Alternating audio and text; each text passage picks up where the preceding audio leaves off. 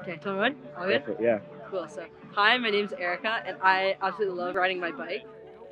Where are you gonna take that? My bike's name, it was Uber.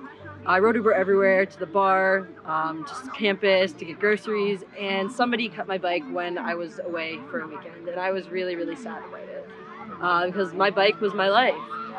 And I shared on Facebook, and it like blew up. I had people all the time, every day for the next like two weeks. I'd go everywhere. People were like, "How's your bike? Have you found your bike?" Like, all of Western was looking for my bike. Um, and so somebody randomly messages me and tells me about this big bike giveaway, and I was like, "That can't be real!" Like, somebody just refurbishes bikes and gives them out, which to me was absolutely like amazing, amazing thing to do for the community.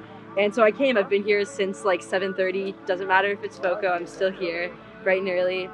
And I'm waiting and I'm talking to people around me. And these are all people that like are really, really excited just to have a bike that's going to change the way they move, the way they live, how they get around. And I think that even just being in line there was really, really impactful to me to see, see and hear other people who just wanted a faster way of being able to like the agency to get around wherever they want when they can. Um, and so I've been waiting for till 10, 10 50, 10 30 now. And I finally got myself a beautiful new bike. I'm gonna name her Lift.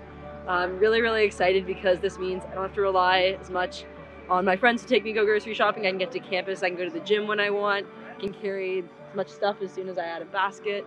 And so I'm really, really excited. I think I'm just amazed at the amount of like community support there is here in London for people who need bikes, people who want to ride the bike both for themselves to get around and like to help the environment and just make this a better place to live.